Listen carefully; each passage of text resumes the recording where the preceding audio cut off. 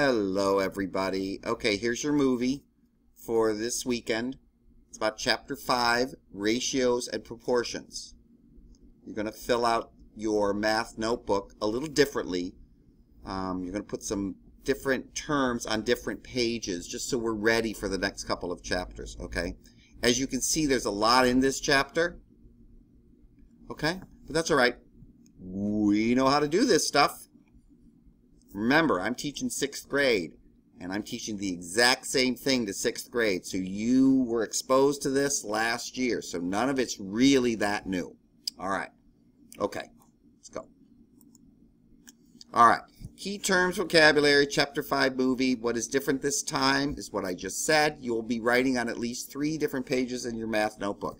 As I go through this, make sure you follow directions. Okay, you ready? You ready? So let me flip over to this. All right, your math notebook. On the right-hand side, that's the left, this is the right. Brand new fresh page. Chapter 5, Ratios and Proportions. Please title that that. Ratios and Proportions. Remember, you can pause the movie at any time. All right. A ratio. A ratio is a comparison of two quantities using division. You can write a ratio in three ways. 3 over 4 as a fraction, 3 to 4, or 3 colon 4. Okay? I'm going to switch back to your notebook. Okay?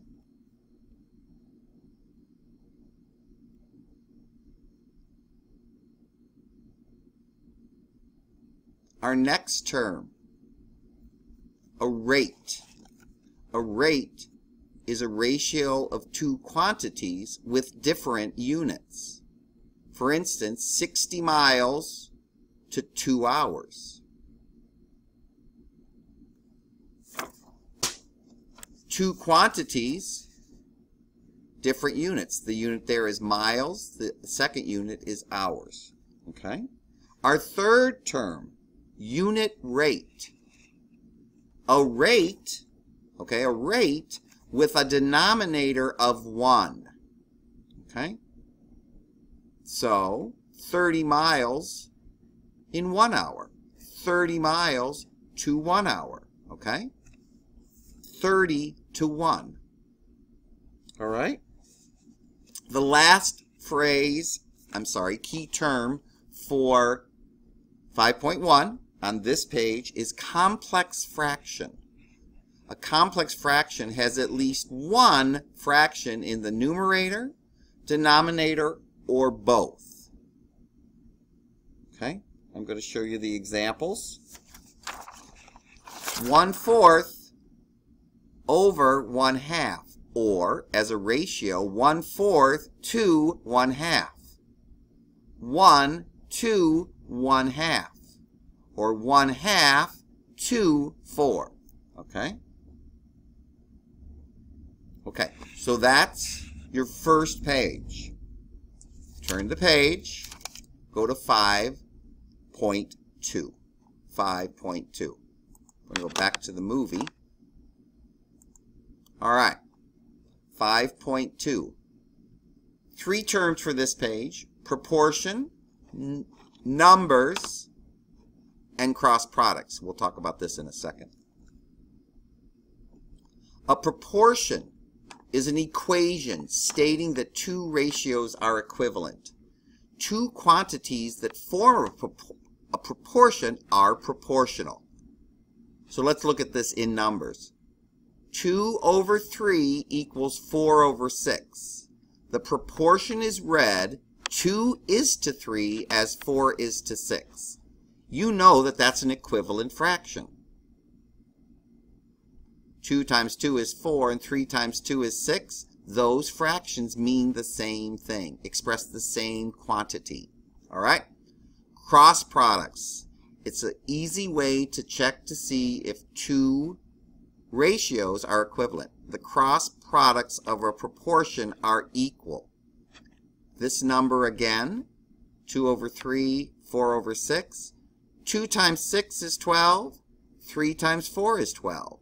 When that happens, they are proportional.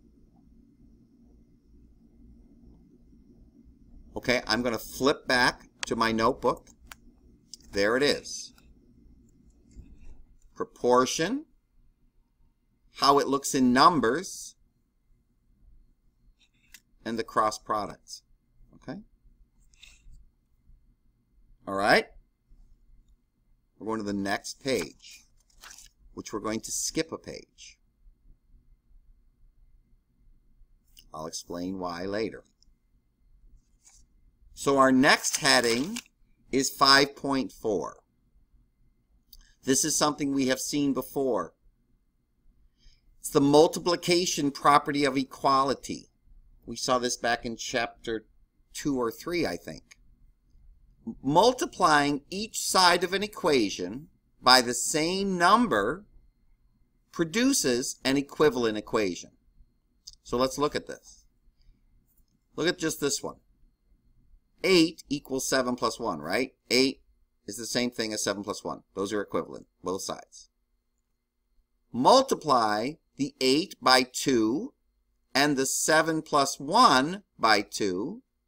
It's the same thing. This is still an equivalent expression, right? That equals 16, that equals 16. Okay? All right. One of the most fun yet challenging parts of this chapter is this next one. So go to your next page. It's called slope. I'm going to go back to the uh, Promethean board. Slope. 5.5 is the rate of change between any two points on a line. How it changes from here to here. It is a measure of the steepness of the line. All right. To find the slope of a line, find the ratio of the change in y will be your numerator.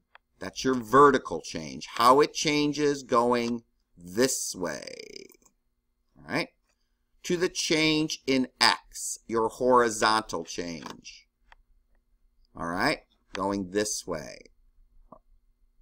So, my change in y, I start off at, let's do the change in x first. My x point is 2 and 3. There's my first point, x, y. Then my next point is on the 4 on the x-axis. So 2 and 4, the change in that is 2. The change in 3 to 6 is 3. All right? in your math notebooks, that's what how it should look. The change in y over the change in x. All right? That's your math video for the weekend.